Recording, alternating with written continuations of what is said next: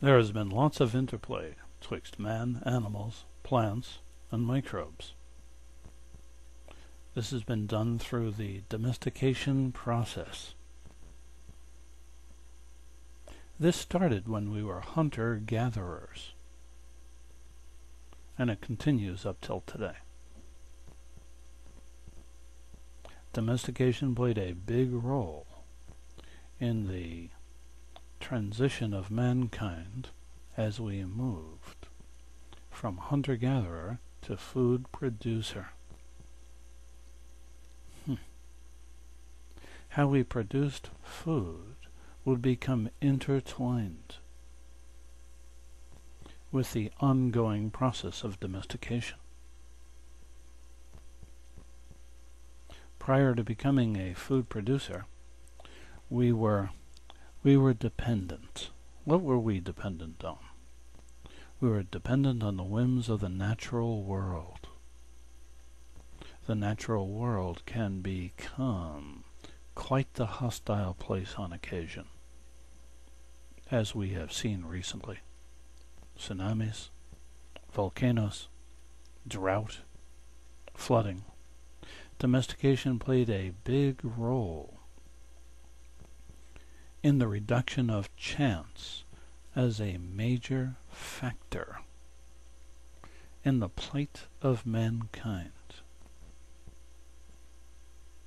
Key plants and animals played crucial roles in this transition. Animal and plant transplantation transplantation was critical for the transition. For example, the walnut got to Britain the tomato got to Italy. The potato got to Ireland. Horses and cattle got to the Americas. Hmm. How did that happen? Things to talk about. Agriculture yielded more food. More food means more people. More people means stronger, more powerful nations. Even more people, though, yields more strain on the food supply. This impacts the water supply too. Uh-oh. So the disease begins to proliferate. Hmm. Lots of difficulties. Lots of difficulties. So first we want to take a peek at the human-domesticate interaction specifically of the time frame of the last 10,000 years. 10,000 years ago starts the Neolithic period. Neo means new, lithic means stone. The New Stone Age starts 10,000 years ago. The Neolithic was on the tail end of the last ice age.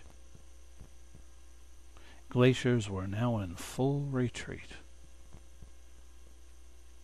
And this is my sketch of the Sahara Desert in Africa. It's in red here, the Sahara Desert. Here's the Mediterranean, Spain, North Africa, and the Sahara in red. The green area over here is referred to as the Sub-Sahara. Sahara, Sub-Sahara by the end of the Mesolithic period, which started 20,000 years ago, and ended 10,000 years ago, by the end of the Mesolithic period, mankind had spread from the sub-Sahara